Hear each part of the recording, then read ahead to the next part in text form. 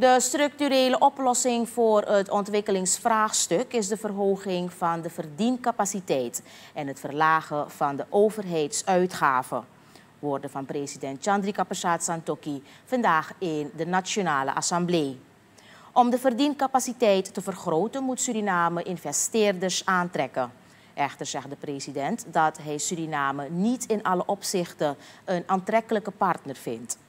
Omdat we nog steeds belast zijn met het verleden van een slechte imago internationaal, maar ook door de hoge schuldenlast, is Suriname financieel relatief een duur investeringsland geworden. Ondertussen zien we hier een verandering komen met internationale en regionale bedrijfsleven die in verschillende sectoren goede perspectieven zien.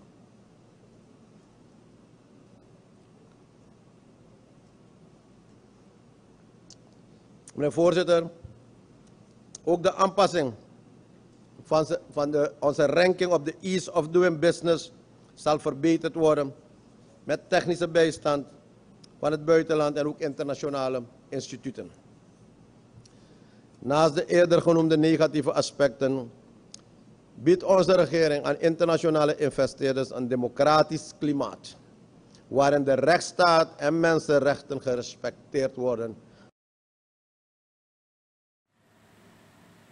Voor wat betreft de olie- en gasindustrie geeft het staatshoofd aan dat er ruime belangstelling getoond wordt voor Suriname. Vanuit de regio is er belangstelling getoond om met Suriname en het Surinaams bedrijfsleven partnerschappen aan te gaan. Hierdoor wordt het nieuwe arbeid gecreëerd bestaande uit bedrijven die verder gemoderniseerd moeten worden en uitgebreid uiteindelijk met als doel om meer inkomsten te genereren. Hoewel investeerders de verdiencapaciteit van Suriname kunnen vergroten, zegt de president dat het herstelplan nog steeds de hoeksteen vormt voor het ontwikkelingsbeleid van Suriname.